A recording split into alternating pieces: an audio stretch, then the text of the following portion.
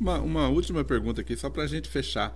É, hoje o, o, Carlos Muniz é o que? Direita, esquerda, é, é, oposição, situação? Qual é a sua posição política? Quando você passa a ser presidente, você passa é, a, a ser um, um quase juiz.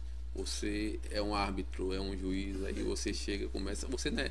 Eu sou, eu sempre fui de centro. centro. Eu sempre fui aquela pessoa que pensa. Lula faz um bom trabalho hoje frente à presidência da, do país. Espero que venha melhorar o país. Nós tivemos quatro anos de problemas, principalmente pela pandemia. O que é que eu acho, Roberto? Eu acho que tudo que seja bem feito, em qualquer que seja, esquerda, direita, que, que vai beneficiar a população, tem que continuar. Entendeu? Então, que foi algo que Bolsonaro fez de bom para a população, que Lula aproveite. Quando Lula sair.